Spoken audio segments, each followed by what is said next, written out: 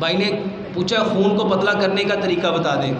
खून को पतला करने का सबसे बेहतरीन तरीका ये है कि पहले उन चीज़ों को छोड़ो जिससे खून गाढ़ा होता है। जिससे खून, और खून गाढ़ा किससे होता है? मेरे भाइयों कुकिंग ऑयल से खून गाढ़ा होता है। आपके silver steel non stick Teflon pressure cooker के बर्तन में जो खाना पकता है, वो पकता नहीं है, गलता है।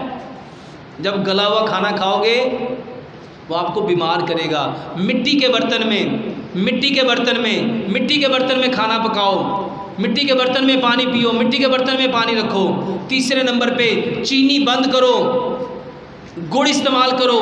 पत्थर वाला नमक खुद घर में लाके कूट के पीस के वो इस्तेमाल करो।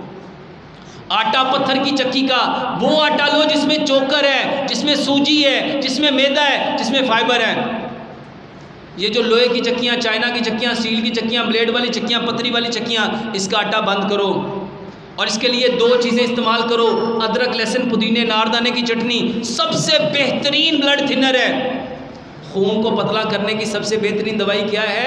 अदरक, लहसुन, पुदीना, अनारदाना। इक्वल क्वांटिटी में इसकी चटनी बनाओ, हंसपे जायका इसमें सब्ज़ मिर्च मिलाओ। ये चीज़ें लो। मेरे मोहतरम भाइयों, हम दवाइयाँ खाते रहते हैं और जो चीज़ गाढ़ा कर रही होती है, जितने केमिकल्स हैं रिफाइंड चीज़ें प्रोसेस चीज़ें केमिकल वाली चीज़ें आर्टिफिशियल चीज़ें, आपके fast food junk food frozen food artificial food bakery के आइटम ये सारी चीज़ें खून को गाढ़ा करती हैं। इससे परहेज़ करो।